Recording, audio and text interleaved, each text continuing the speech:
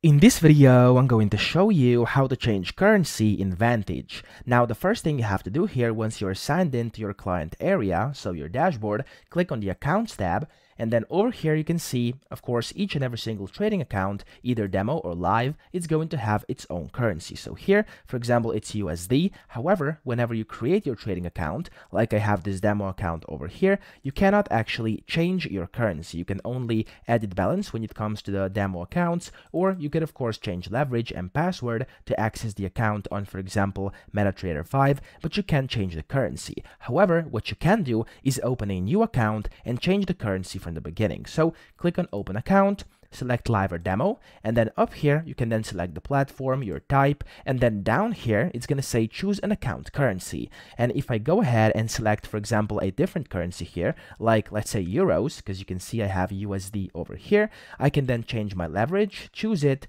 just select the account balance and click on submit. And what's going to happen here is a separate account is going to be created and inside that account, the new currency is going to be applied. Okay, so I didn't actually change the currency in Vantage. However, I changed the currency of my account here. So if I now just refresh this page, there we go. As you can see, I have a new account now, which is using euros. And of course, you could do whatever currency is actually available, and then you could have separate accounts with separate currencies. So that's how you can do this. I hope this video helped you out. If it did, please subscribe to the channel and help me out as well.